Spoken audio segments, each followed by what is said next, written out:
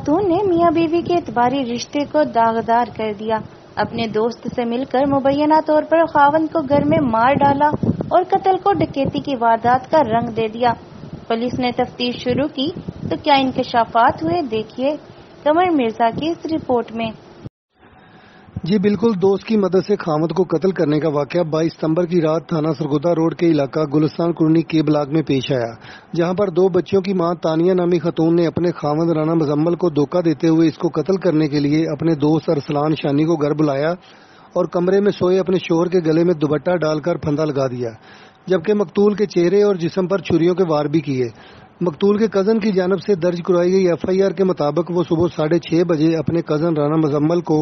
मिलने इसके घर आया तो दरवाजे को हाथ लगाने पर दरवाज़ा खुला हुआ पाया।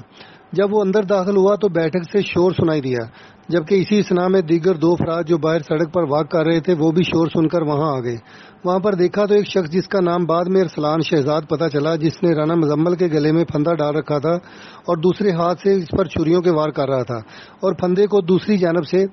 मकतूल की बीवी तानिया ने पकड़ रखा था, जिनको पकड़ने की कोशिश की मगर मुलजम छुरी लहराते हुए फरार हो गया और वकुआ की इतला मिलने पर सर्कल सरगोदा रोड के डीएसपी राना तार रहमान नफरी के हमरा मौका पर पहुँचे, जिन्होंने जदीद टेक्नोलॉजी और साइंसी तरीका से मकतूल की बीवी तानिया के फ़ोन रिकॉर्ड से मुलजम शहजाद को ट्रेस करने के बाद गिरफ़्तार कर लिया है। पुलिस के मुताबिक गिरफ़्तार मुलजम ने इकबाल जुर्म कर लिया है, जबकि मकतूल की बीवी भी पुलिस हिरासत में है। Qamar Mirza, ten TV, Faisalabad.